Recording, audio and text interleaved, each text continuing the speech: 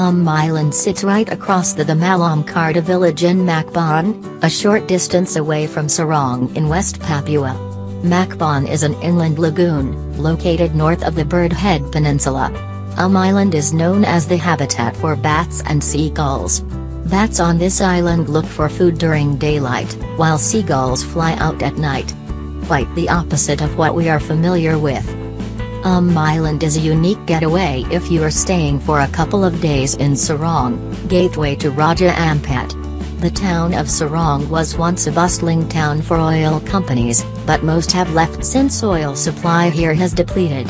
Therefore, the town is more cosmopolitan compared to other towns in Papua.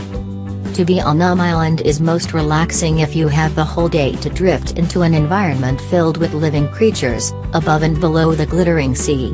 Within a couple of hours you will find new friends among the Moi tribe, find new sensations swimming close to a sea cow, or dugong, dive by an underwater World War II wreck, or be plain exhilarated to catch your own lobster.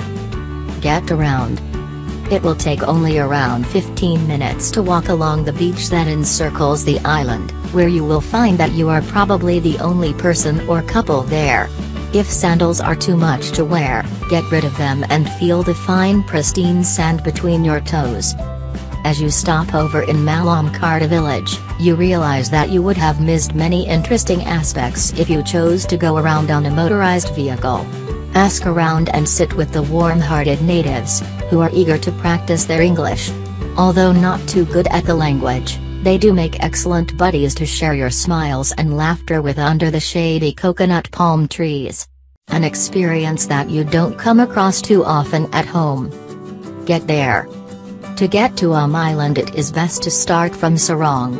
You may want to learn a tad about the town of Sorong. From Sorong, you have several alternatives. Angkot or locally called Pimo or taxi is convenient for the day trip to Um Island. The distance to Malaumkarta village at Makbon is around 40 kilometers, taking between 2-3 hours drive. The normal price is Rp 15,000 one way.